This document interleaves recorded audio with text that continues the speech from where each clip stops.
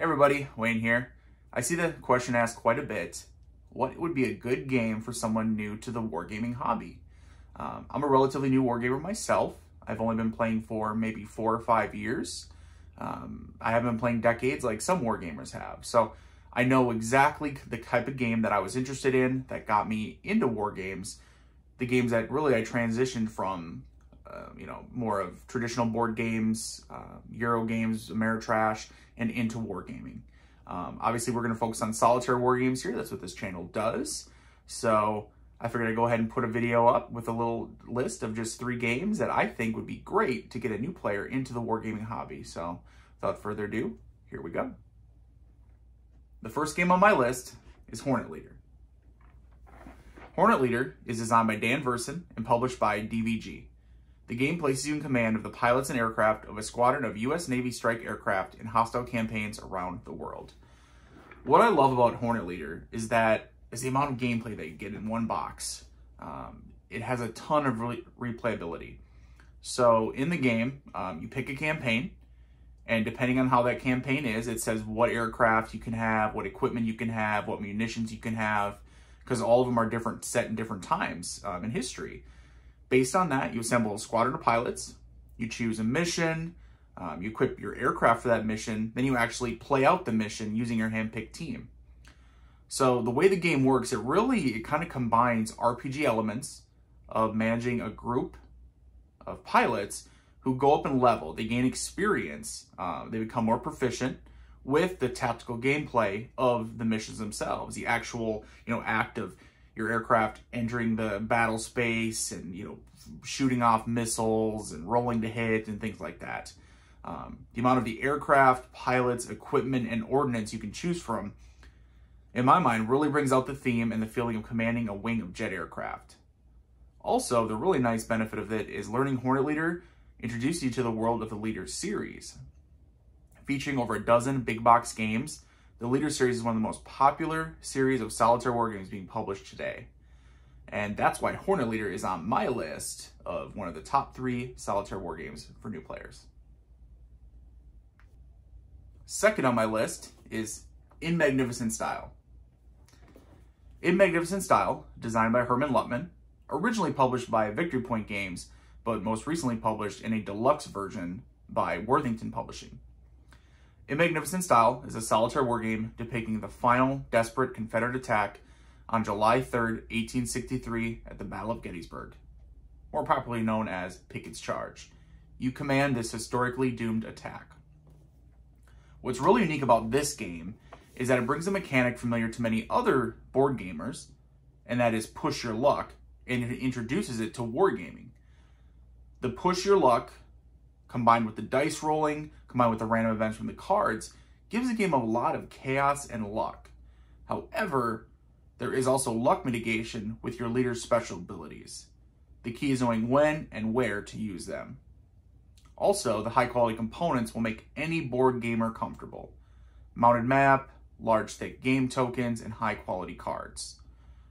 The rules are easy to learn, the game itself is quick to play, once you're familiar with the rules, you can play multiple games in a sitting.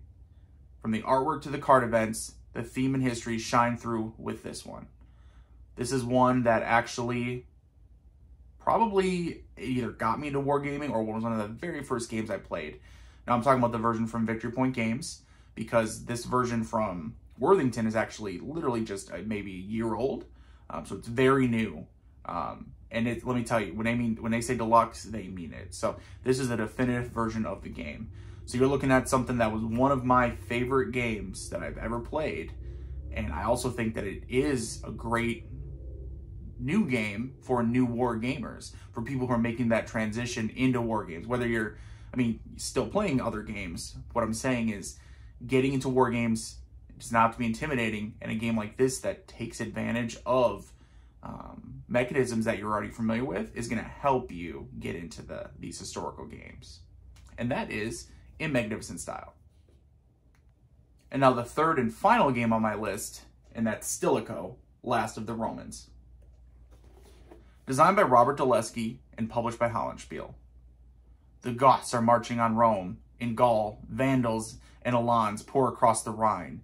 Meanwhile, a usurper from distant Britannia has raised his standard. The survival of the Western Empire depends on one man, Flavius Stilicho, barbarian general, commander-in-chief of the armies of Rome, and de facto ruler of the West. And that's you. The core of the game is a modern staple of solitaire war games, the States of Siege engine. Um, that is something that you will hear. You will hear States of Siege games mentioned quite a bit, recommended quite a bit, especially for new war gamers. Um, some of them are simple, perhaps too simple. Um, but in this case, the designer has taken what was originally a simplistic system and brought much more player agency into it. Um, the main thing that I love about this game is the hand management. So it has that States of Siege style where you have enemies encroaching on you from every direction and you never feel like you have enough resources. But it's not just a matter of rolling some dice or flipping over a card. You actually have a hand of cards to manage and you have to and it's kind of it's not card driven, but it's card assisted. And you have to look at these cards and say, okay, do I play it for the special event? Do I play it for just a generic action? Or do I even get a chance to play the card at all? Um, do I use it to stop the barbarians from marching on Rome, etc.? There's so much to the game, all in a very small package. Um, and that's why I definitely think that it is a great States of Siege game and great introductory game but it does not just, it is not a simple one by any means. Um, so Stilicho, it does have a paper map, which is probably the most war game aspect of this game, but don't let that stop you from checking it out. The graphical design is fantastic. The map itself is gorgeous. The cards are easy to read while featuring historical artwork that make the theme really pop. Speaking of history, the game has it in spades. Um, the event cards are based on historical events, and the rulebook gives you the history. In fact, the last eight pages of the rules give an overview of the history and the personalities involved. Now, this game is based on the Wars of Marcus Aurelius, um, and that is a, an excellent game as well. But I prefer this one. Both the system seems to have been refined more. The graphical design of it is far exceeds the first one um, in really every aspect. I mean, the weakest spot is probably just the cover. Um, in actuality, when you're looking at it and you guys are seeing, you know, seeing pictures of it, the game itself, the game itself is beautiful. It's beautiful on your table. And you really, when you're playing this and you learn it, you're learning part of history that you probably, I know I didn't anyway, I'll speak for myself, didn't know a whole lot about, but it's still a fascinating part, that latter part, the last bit of the uh, Western Roman Empire. All right, everyone. So those are my top three solitaire war games for new gamers. Now I have videos on all of them. Hornet Leader, the least. I think I just have a couple mission videos, but I know I have um, playthrough video, overview and review videos, um, unboxing videos of Stilicho and of In Magnificent Style. So I'm going to include some links below in the description of this video. Please check them out if you want to. Again, I think these games, in my opinion, these games make great introductions to wargaming. Um, they're not the only games that are good at that, but maybe we'll save those for another video. So hope you guys enjoyed the video. Hope you enjoyed this quick look at these games. Um, please check them out. I'll also have links to Board Game Geek for each of the games below. So you can, quick little link to check them out. Otherwise, hope you guys enjoyed. Comment below, let me know if you liked the video, and let me know what your favorite introductory war game is. Till next time, guys. Later.